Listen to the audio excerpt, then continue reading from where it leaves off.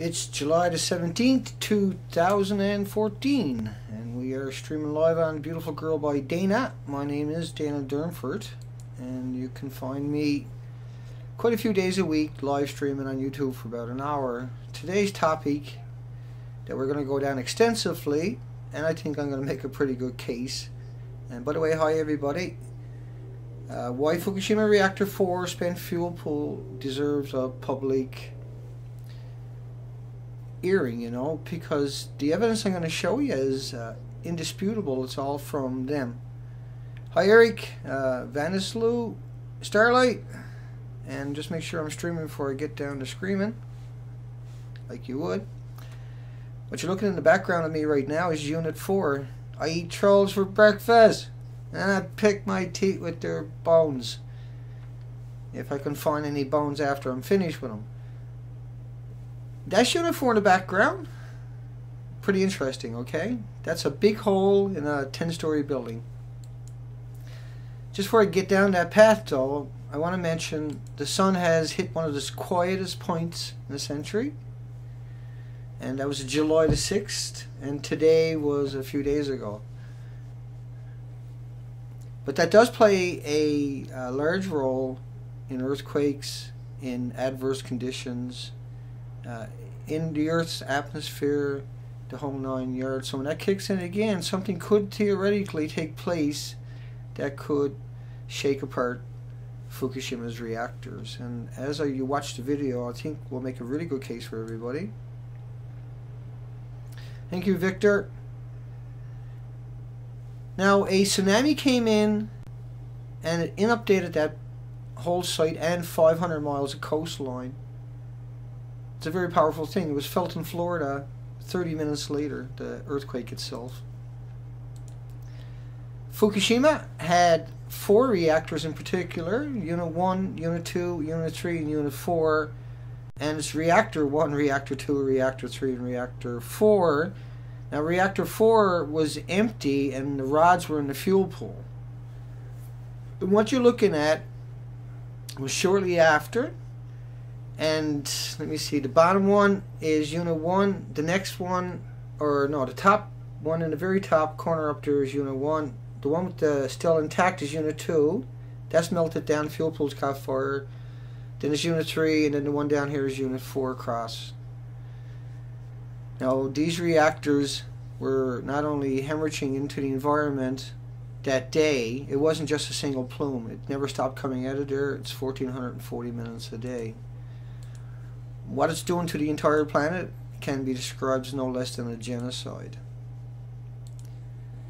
Uh, the firemen, the Navy SEALs from Japan, you know, they done their best. The people that worked on the reactors at Fukushima, they didn't even know if their families survived the tsunami, the earthquake, and everything else. They didn't know uh, where their friends and families were. And they continued to work and sacrifice themselves and unfortunately that sacrifice has been mocked uh, by Unit 4's display in the media. I think it's quite revealing what I got here for everybody tonight. Uh, number 4, spent fuel pool cracked from the earthquake. Now the earthquake was felt in Florida 30 minutes later. You got to think about how it picked up all that land for say 800 miles and it broke buildings after buildings after buildings and cities and everything else right across the country. They rock these buildings for up to two minutes straight. The buildings are not intended to take these lateral movements, and they can take it for a short period, but they can't take it at a sustained period. You know how things work when you start shaking really bad. At some point, things give out on it, right? This is Unit 4. Uh, so you can see the building uh, had a detonation and that it blew up. Right alongside of it was Unit 3, and that also blew up. And Unit 3 is emblematic of a nuclear detonation, and that has been flushed out pretty well in the media. And I don't roll the dice on the things I say. What I do is I research it extensively before I open my uh, narrative up to the public for scrutiny and that way I don't have the blowback that most people would get because I don't fabricate it, I work it out. I don't trust anybody. I constantly research every bit of information and keep it up to speed as much as I can, humanly possible as one person can do. That's the spent fuel pool at Unit 4. Now, I want to remind you that that building blew up. It really truly did. It blew up. Four of those buildings blew up. Now, because they all blew up, they sent they spent uh, sent projectiles through the air, nuclear projectiles, nuclear rods, hundreds of thousands of rods, and there's around 280,000 rods in each reactor. There's around 3,450 bundles in each reactor with 80 rods in each bundle, and each rod is around 18 pounds. And a gram, a single gram, will produce more radioactive uh, elements and particles and atoms and isotopes than all the grains of sand and all the beaches on the planet. You have to really digest what I'm trying to say to you and not digest them, even though you did. And no atom is so small that it won't give you cancer, that when it comes from a chain reaction, from an ionized radi it becomes an ionized radiated element that doesn't exist on the periodic tables. They don't exist in the solar system. And so everything I'm going to tell you tonight is important because reactor 4 had an explosion. It has several explosions, but one in particular uh, they made note of on the 20th, 2012. And it had two fires in March 2011. That was just that one headline we're looking at there, okay? Now, to the left and the right are the official stories. One is a busted up building, and the other one is a mint, absolutely gorgeous, untouched building. Now you got to realize how devastating the detonations were. These weren't no tiny itty bitty detonation. Uh, just one second. Uh, Slippery Pixel, thank you. Vanislu, I have a hard time with that. Thank you, Bix 007. You're very kind. MSVS, Victory. And believe me, folks, I'm just doing what you would do if you had the opportunity that I had right? I took my platform and I used it for this because I already had a platform put together. And what I'm going to play for you is CBS, and I'm going to go down this line for you now. Now CBS, now here they're, they're saying they're inside Unit 4. This is really important. Here we go. The heart of the decommissioning work taking place here in Reactor 4. Taking place here in Reactor 4. Does that building resemble a building that he's in? So that's the first law. Here's another law. End of our tour, we were checked for radiation exposure.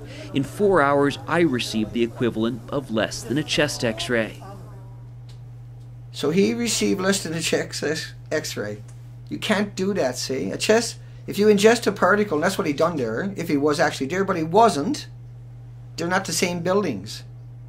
So he's up on CB and I know there's a bit of feedback. I'm not sure what's that all about. I'll turn that down a little tiny bit. Maybe that'll help if there's a problem for anybody. That's the pool, fuel pool. You can't get in there and liberate the fuel rods without blowing the place up. You can't get in there and liberate the fuel rods with a human. You can't get in there with a robot. You can't get into Chernobyl. You can't get in any of these reactors. So how was it that they got in there, like he's claiming, and turned everything into Molly Maid? How come they didn't do that at all the other buildings, and why? Why don't we see pictures of the cutting torches? Why don't we see pictures of the scaffolding? Why don't we hear from the contractors who went in there and done it? And because the site is full of homeless and they don't can't even read or write or let create something like that. What you're looking at there is not Unit 4 on the right hand side even though they're both official pictures, right? The detonation is way so obvious for. Um, hang on. Here's another shot of the building. Now, how can you get a perfect building? How did he get inside that building when nobody else can get in there? When nobody else can get in there, they want to put a sarcophagus over for a couple of hundred years and try to to get robots that can get in there then. Yet they're claiming they're in there. And so who we got up here first? Uh, here's a story for you. April the 15th, 2011. I Still got my little halo. It's daylight. Nuclear expert iodine 131 in number 4 pool suggest that the spent fuel pool started its own chain reaction. So, how could Seth Doane from CBS get in there if there was a chain reaction? How could anybody else get in there and clean it all up? After the detonations, you know, the rods were all over the site. The entire site is full of uh, ionized radiated gammas and betas and alphas, and the chunks that exploded and detonated are also putting out the X-rays and the neutrons. This is extraordinarily one of the dangers, not one of the dangers, the most dangerous spot on the planet till the end of time. It will never stop hemorrhaging into our environment till the end of the time. But look at it. Look at it. Take a really good look at that. Here's another headline for you. Renewed nuclear chain reaction feared at the spent fuel pool. Now they're talking about Unit 4. And you can look up these headlines March the 20th, 2011. So, how can you have a big building totally destroyed, yet a perfectly intact building inside of it? These buildings are not magic, okay? They're not created with some voodoo where nothing can damage them. They're no different than any other building on the planet. Here's another headline for you. March the 18th, 2011. We got a little bit of distortion there. Let me see if I move closer. Will it give it up? No. Because it's I got to put another light right here, and we get that up this afternoon when everybody shows up and finishes work here. So, exposed radiation streaming into the atmosphere after number four, fuel pool boils dry. That's March the 18th, 2011. This is another devastation. This is an absolute, you can never get in the building again, but yet. The heart of the decommissioning work taking place here in Reactor 4. At the end of our tour, we were checked for. So, like, how is that possible that he's in there and nobody else can get in there? See, the, the, the structure you're looking at, that structure, doesn't touch the building because they're afraid it's going to crumble. So, how could you get in there and remove fuel rods? It doesn't have the crane up in that structure. Hang on. Now here's a picture when the Fukushima 50 went in on the fifth floor of reactor 4. The building is destroyed. That's an inside shot. You like the people going through there, that's the Fukushima 50. They're all probably dead from radiation poisoning, radiation sickness. If you stayed there for an hour, your organs would melt. So they went in, they got pictures, and we see the same pictures forever and ever and ever. Now, this structure, you can see the gap even they got there. Unit 4, that building doesn't touch it. And in the future, they're going to put the crane in that reactor, or in that, uh, that, that was built with cranes. They picked the pieces up and laid them in. There's no one there with a, with a wrench in their hand. I used to actually do that job where I used to lean out on 15, 20 story buildings with a 9 16th inch wrench in my hand, and they would, you know, the big cranes would lift up these big panels, and my job was to, to put a couple of nuts in it. And I used to have the engineer hanging on to me. No safety harnesses on, no nothing. And so I know a thing or two about that. That's a long time ago, mind you, but it was a fun job because it didn't get any more crazier than what I was doing all day for a living, trust me. You think the steel walkers were crazy. You, you should have a load of what I was doing. This is Unit 4. Look at the damage. This was a 10 story building. 10 stories. It detonated. Uh, once again, let me show you what a detonation means. You have to imagine if your house done that, what would your house look like? If your office building done that, what would your office building look like? If your stadium at a hockey game done that, what would that stadium look like? Right? You can't allow them to get this upper hand on you and trick you and deceive you with, their, with, with this propaganda machine. Look at what they done. It doesn't touch the other building, and there's no crane inside of it. They haven't put a crane in there yet, and even if they do, they're still not going to touch the other building. They can't touch the building. It's a fable, like Seth Doane from CBS uh, pulled on you. So 100% of releases from the unit number 4 spent fuel pool assumed in the NRC analyst. And I forgot to put the links below, but after the video, you'll find links below to a couple of million emails from the NRC, from TEPCO, the official site. And you'll find a couple of thousand of these pictures. You can download them from TEPCO. I don't make stuff up, okay? And just a quick note, Unit 3, right alongside of Unit 4, that's Unit 4 to the right and Unit 2 to the left. All of these are melt 100% meltdowns and the fuel pools are meltdown, but Unit 3 is missing. It's total integrity. The building, the fuel pools, the reactor cores were ejected all over those buildings, all around that site. In the detonations, right? Don't forget the detonations. Radiation So when exposure. Seth in CBS four goes hours, in I that received the equivalent of less than a chest X-ray. how did he do that? Part of the And why didn't he do some work investigative taking journalism? place here in Reactor 4. At the end of our tour, I'm sorry, that video wasn't supposed to play. That was supposed to be a picture that I stuck up in that corner that time. I smurfed up. I kept. I don't know if my audio was on or not because I haven't got the headphones in because there's an echo. There's a delay and I can't get rid of it, even though I got the full version. So TEPCO going into the ocean. I just want to give you a quick understanding of this. It's 50 square miles a day, and it's about a thousand pounds a minute, a thousand gallons a minute of radioactive dye that doesn't dissipate for. Just imagine if it was dye, and it didn't didn't dissipate for hundreds and thousands and tens of thousands and millions and billions of years, depending on the radioactive elements and isotopes and atoms and particles. Well, there's about 1.8 million square miles came came out of there. It takes about 130 days to get across the ocean, and every day behind that was another 400 to 800 ton plume, another 1,440 plumes. There's a plume like St. Patty's Day every minute. But I got some good stuff for you. Let's keep moving. New TEPCO report Unit 4 had a major impulsive sound. Gee, I wonder what that was. And then damage to the roof. Gee, I wonder what that was. And fires were seen hours later. Gee, I wonder what that was.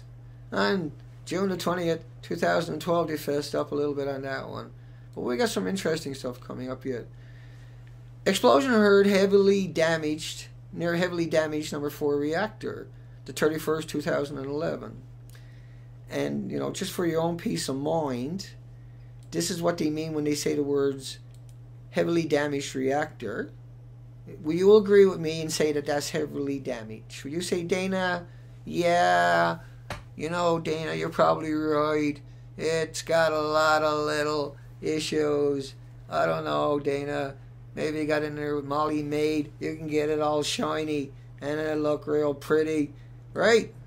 No, of course not. You can't get from there to there without, you know, if they were able to go in and clean it all up, if they were able to go in there and get Molly made to spit shine everything, if they were able to go in there and set up all of that, do you think for one second that CBS wouldn't have a documentary on how they pulled it off? Didn't you think for one second that the homeless are capable of pulling that off? Because that's who's down there, right? It's nothing but the homeless. Look inside of the building. How did you get to that from that with homeless and you can't even get inside the building? How could you even pull that one off? You just can't see. Uh, and flames were sighted deep within the number four uh, unit uh, fuel pool. It was the second fire in 24 hours. That was December the 2nd, 2012. That story came out. To put it into perspective, this is what the fuel pool looked like. And now they say it looks like this.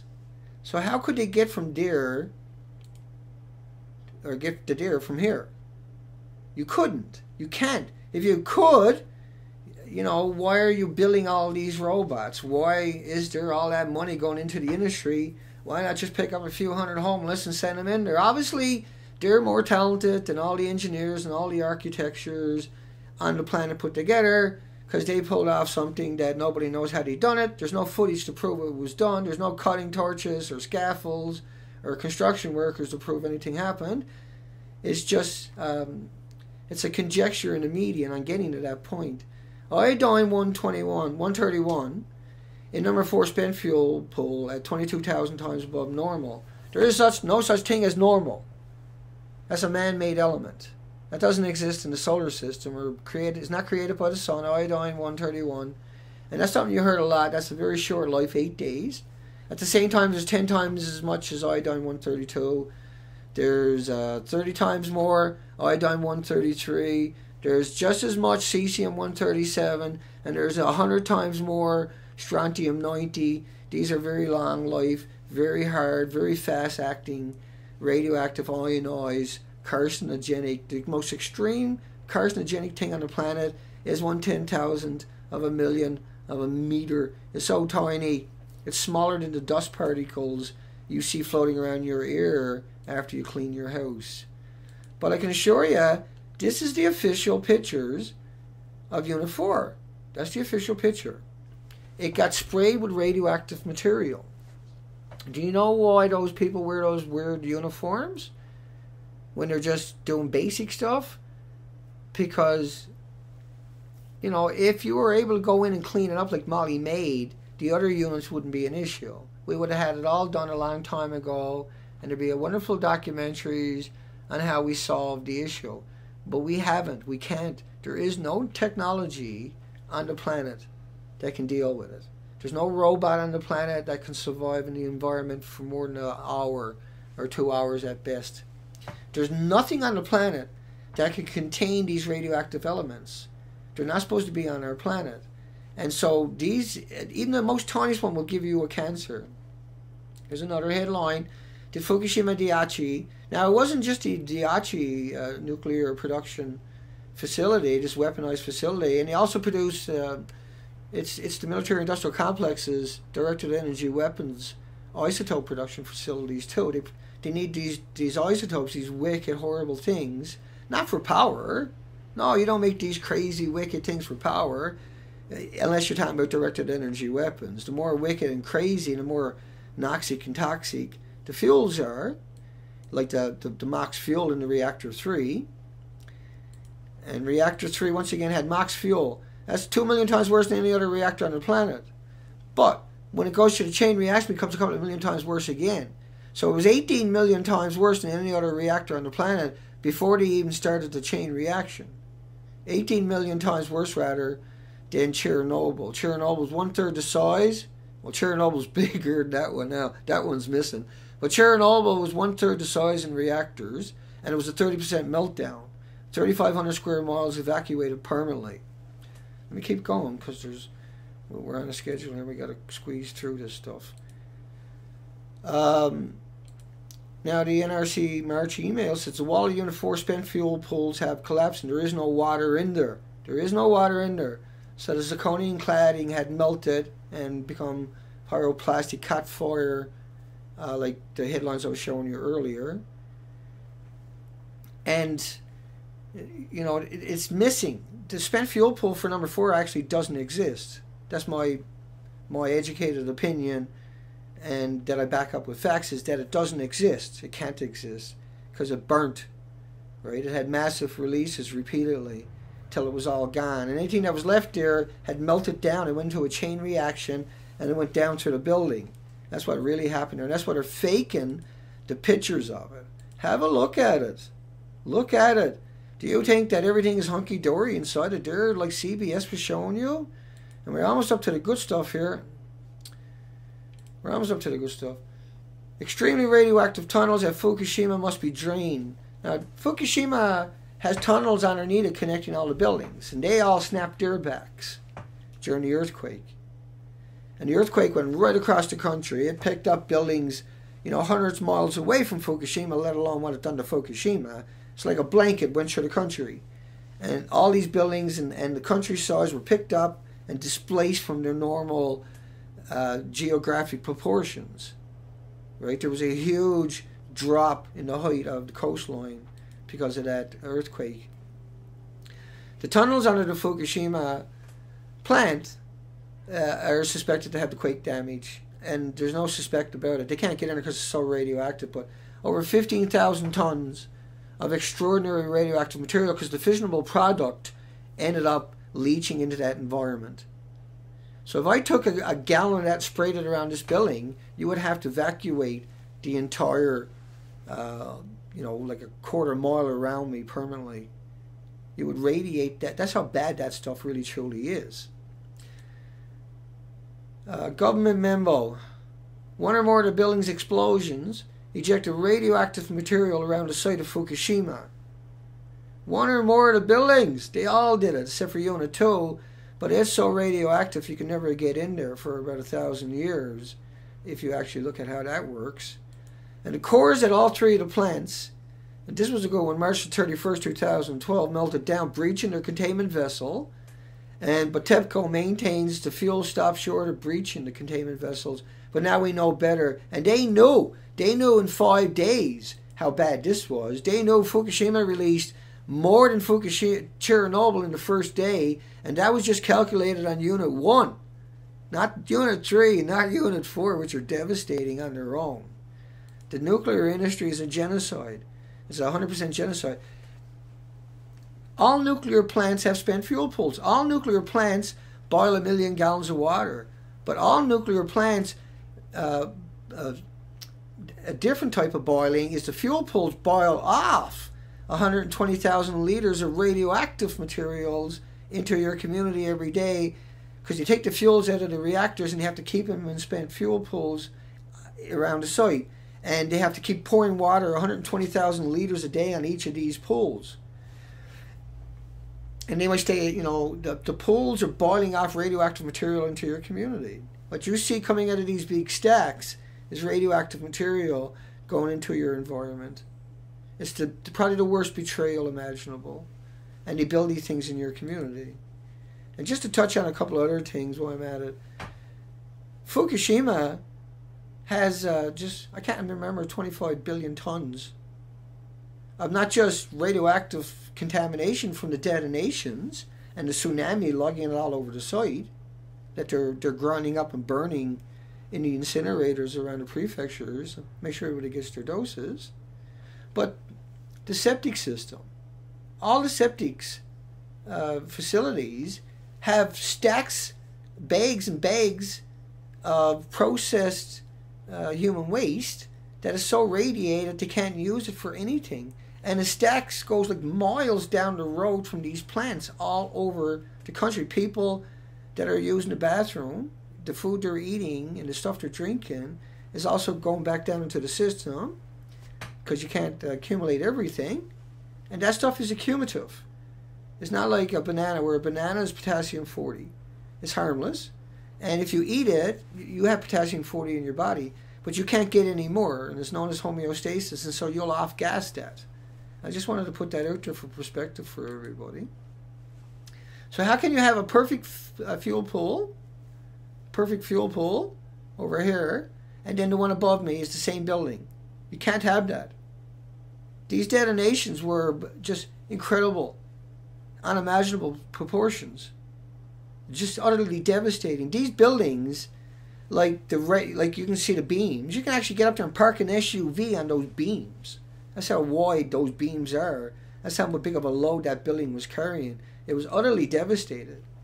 But BBC came out and showed you this fake fuel pool. BBC came out and showed you this fake they never even bothered to try to investigate it. Are you kidding me? They knew what they were doing. They faked it and they shoved it down your throat, right? That's what they done. CBC in Canada done the same thing. They faked it. You see the pictures up in the top? That's from down the article. I got the, I put the bananas in behind me because that's what these idiots are implying how dangerous it is. But if you eat a banana, you off gas it. If you eat any of that stuff, you accumulate it. It's like getting an x ray 1,440 minutes a day, or 7.8 million x rays uh, over 15 years. So CBC came out with the same story and the same pictures and didn't bother to show any context. A Japanese doctor today came out and said Tokyo should no longer be inhabited. Tokyo should no longer be inhabited, just like North America for that matter. Tokyo should no longer be inhabited. That's a model above me from NOAA, the American government's model, for 40 days of a cesium-137 dispersal just from the Unit 1 reactor at Fukushima Daiichi Military Industrial Complex's Directed Energy Weapons Production Facility. They need isotopes. You know, the doctor is is as this is finally coming out. You know, the doctors are saying the country is destroyed. He had to leave there. Everybody he meets, everybody he sees has radiation sickness.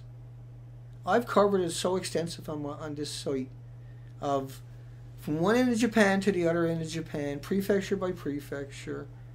And I took my time. It took I can't remember how long it took, but I, I included everything.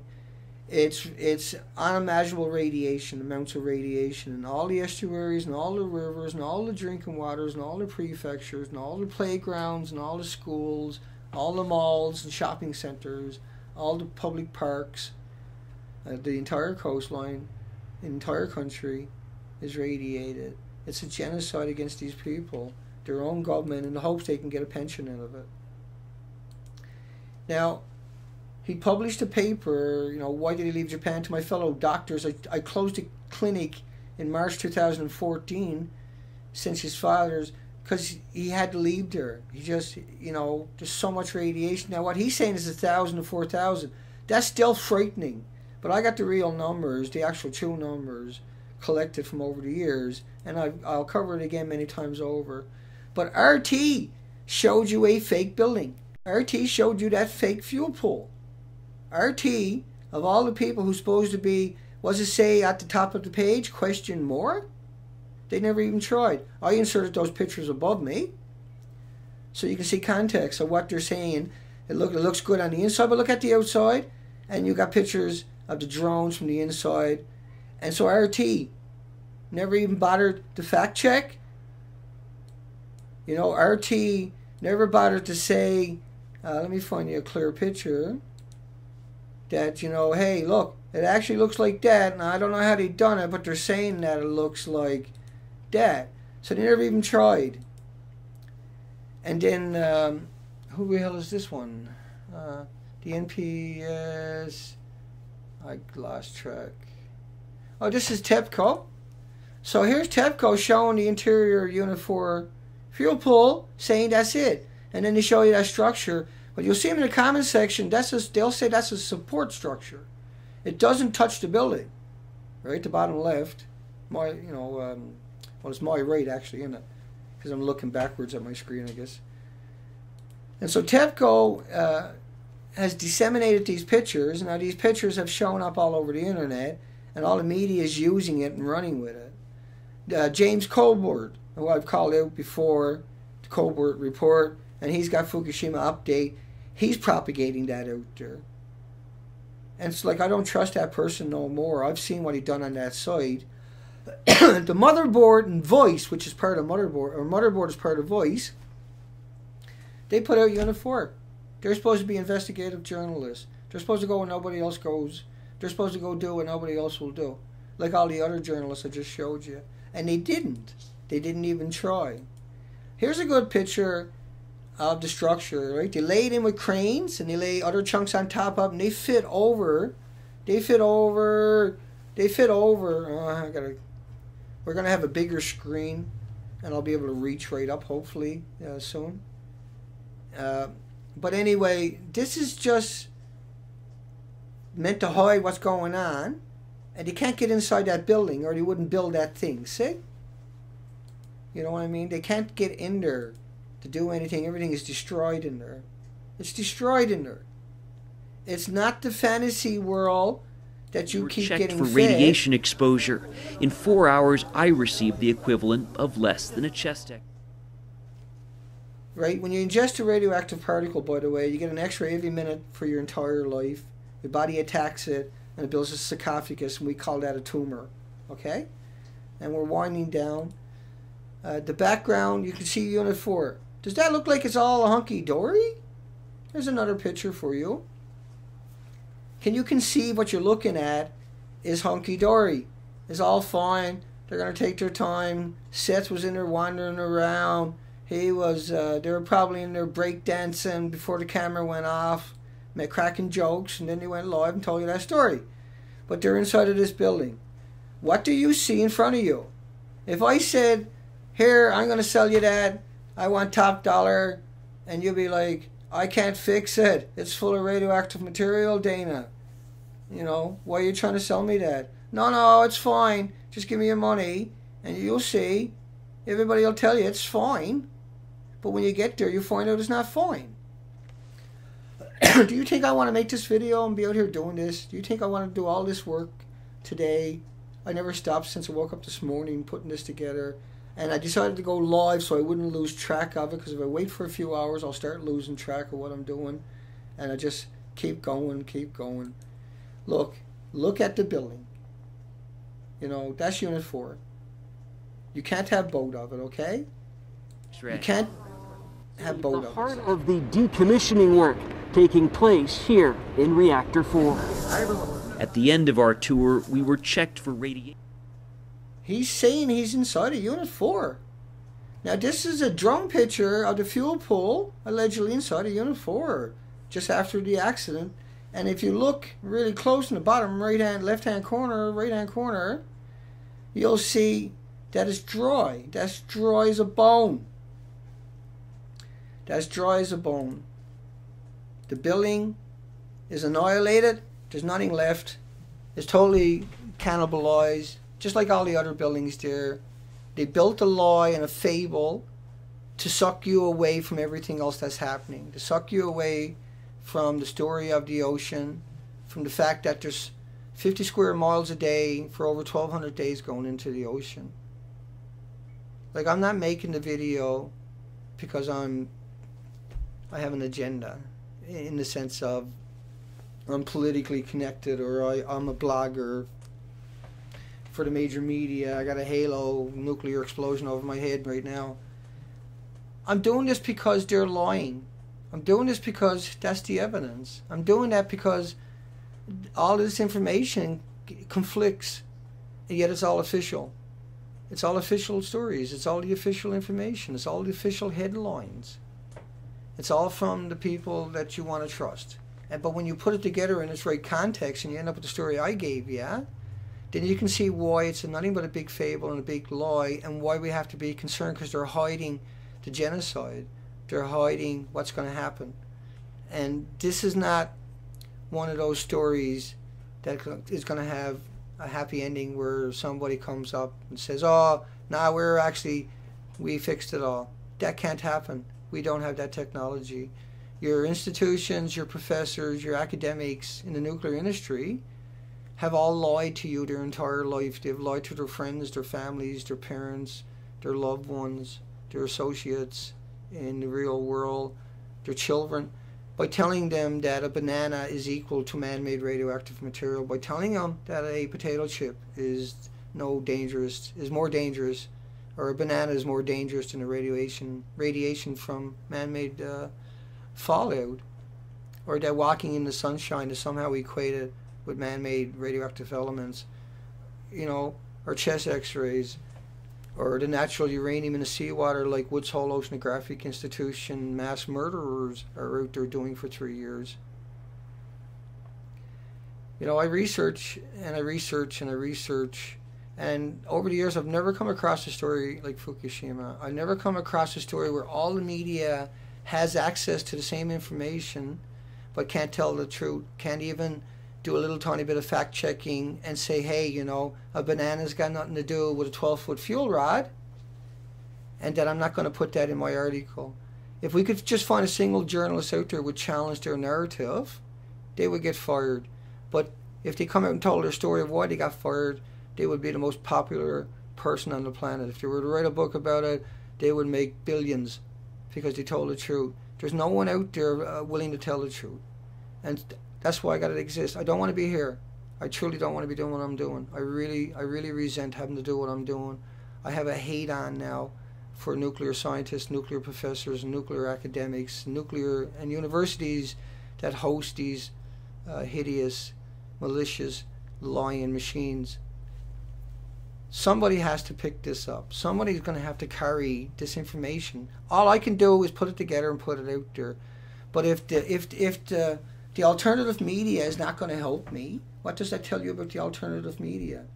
if the alternative media is going to put it out there with no remorse and ignore the real narrative, you know, they need they need to gut up. This has taken the good out of me. This has destroyed every aspect of my life to get this story and put it together for people so I wouldn't have to do it anymore so the story could find its way out there so they would have a starting point. And the entire network out there has failed me of alternative media. It's the Hounds of Fukushima and the Fukushima Hounds, the people under my video, the people on my video, the people that are supporting each other and that I support. You know, if I could find more, I would. If I if I can find more, um, you know, I, I would have uh, be encouraged. I don't find that. I don't find the, the lucid debate, the lucid conversation. I don't find the professors or the academics that I can put my faith in. I don't find a journalist like Motherboard or Vice or RT or CBS or anybody or CBC or BBC like I showed you. They didn't even bother to fact check.